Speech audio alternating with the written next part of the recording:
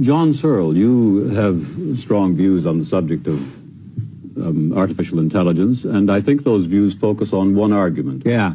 And it's something about a Chinese room. Well, let me tell I you a little if bit. you would, I wonder if you would tell me what it aims to prove, and then tell me what it is. Okay. Um, I like to talk about particular programs and the sort of thing that's claimed for them. So let's take as an example the Yale program that the Yale Artificial Intelligence Lab for understanding stories. That's understanding it in quotes. The way it works is this.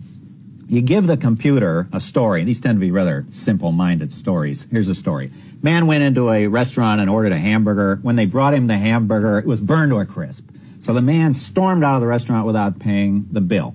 Now you ask the computer, did the man eat the hamburger? And lo and behold, the computer says, no, he didn't eat the hamburger. Now that's an interesting result because you remember it didn't say in the story whether or not the guy ate the hamburger. One up for the computer. One up for the computer. Okay, now, and that's presumably doing something we could do. That is, is passing the test that we would test, but we would expect a child to pass for understanding the story. Okay, how does it work? Well, the computer has in its data bank, in addition to the story, it's got a representation of how things go on in restaurants called a restaurant script. And it matches the story and the question against the restaurant script before it gives the answer. Now, what, what are we to make of this? Well, the, what I call the strong AI people, and I'm really not sure Maggie is one of them, but the people who are sort of the gung-ho fanatics in AI say this proves that the computer literally understands the story. Now, I think I can demonstrate conclusively that it proves no such thing, and in fact that the computer doesn't understand the story. And Here's that's, how it goes. is that understanding without inverted No commas? quotes here. I no mean, kind this of is funny the honest to understanding. John understanding. I mean, and to their credit, a lot of people in AI insist that we are using these words in their literal sense. Simon and Newell say the understanding we attribute to the computer is the same understanding we attribute to human beings. Okay, what I ask you to imagine is this. I like to do it in the first person and, and have everybody uh, do it from their own point of view. Imagine I'm locked in a room and I got a huge box full of Chinese symbols. I don't know any Chinese, just so many squiggle squiggle signs to me. Now they bring in another box full of Chinese symbols and they give me a bunch of rules in English for matching these symbols. So it says, take a squiggle squiggle sign out of box number one and go and put it next to a squoggle squoggle sign out of box number two. Just to jump ahead a second, that's called a computational rule over formally specified elements. Okay, now let's suppose they give me in another little batch of Chinese symbols together with some more rules in English for shuffling these symbols around, only this time I give them back uh, the chaps who are giving me all this stuff through the window, I give ba- them back some Chinese symbols. So here I am in my room when, with my three bunches of Chinese symbols. I'm shuffling symbols around. Symbols are coming in and I'm shuffling them back out. Now imagine, unknown to me, the guys who gave me the first box call it a restaurant script. The second box they call a story about a restaurant.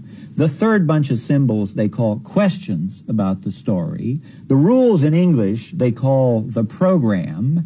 The answer, the, the stuff that I give them back through the window they call answers to the questions about the story. And me they call the computer. Now let's suppose that after a while they get so good at writing the program and I get so good at shuffling symbols that my answers to the questions are indistinguishable from native Chinese speakers. So the story comes in, I don't know what it means, it's a bunch of symbols. But uh, the question follows, did the guy in the restaurant eat the egg foo young? And I give back the symbol that means no, the guy didn't eat the egg foo young. Now I pass the test for understanding the story, but I don't understand a word of Chinese. I think Now- that is that is the Turing test. is that's so-called say Turing a word test. about that? Well, Alan Turing, uh, a great British uh, uh, mathema- mathematical genius, invented the test for determining whether or not we should attribute understanding to the computer, and the test was, could the computer fool an expert? So let's suppose that I can fool the experts. My answers to the questions are as good as those of native Chinese speakers. Imagine they even give, give me a question of the form, uh, do you understand Chinese? And I give them back answers that mean in Chinese. Of course I understand Chinese. Why do you guys keep asking me these stupid questions? Can't you see I'm passing the Turing test? Now, here's the punchline. This is the point of the whole analysis. I do not understand a word of Chinese. And if I don't understand Chinese in this example, neither does any computer. Because the computer has exactly what I have. The computer has that and nothing more. It has a set of formal rules for manipulating symbols. It takes symbols as input, it manipulates the symbols, it gives symbols as output.